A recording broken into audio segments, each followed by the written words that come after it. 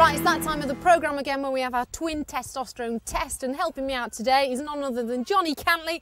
This man was born on a bike. Two very different characters. One's Italian, one's Japanese. One's sushi and one's pasta. Let's find out which one's which. Suzuki's 6.5 grand SV1000 has its origins in the bonkers TL1000S, a bike that was so hilariously demented they tried to ban it.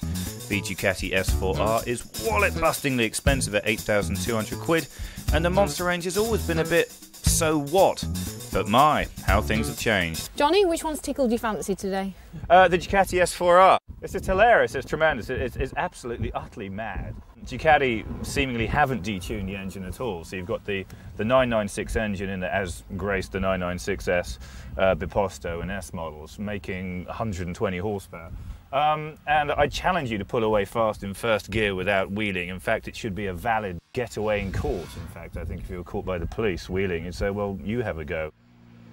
It's fantastic round the corners and it just kind of fits right and it's beautifully styled and the paint job's lovely. Does it differ from any of the other monsters you've ridden? Yeah, totally. I mean, it's so light and it's just kind of compact and saucy and nice. It'd be a great town bike as well, but to be honest, the performance is so good that whereas previous monsters have been perfect town bikes, this one would be a little bit wasted, I think. The SV looks as sharp as a samurai sword and has a price tag lower than a limbo dancer, but will it froth your coffee?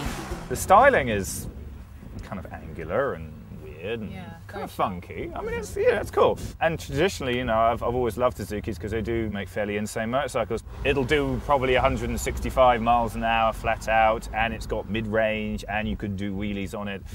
But it's just not fun.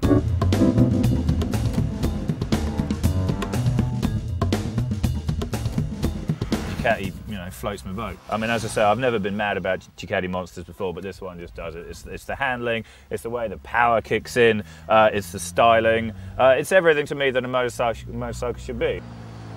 The Suzuki, this Suzuki, uh, is not for me, but that doesn't mean it's not for, for everyone. You know, what it has over the Ducati is it's more practical, it's got that Japanese reliability, it's more comfortable for the pillion, it's got more wind protection. People who want something that's a bit mad, a bit hairy, and a lot, a lot of fun to ride will take the Ducati. People who need to ride the bike every day would probably be better off going for the Suzuki.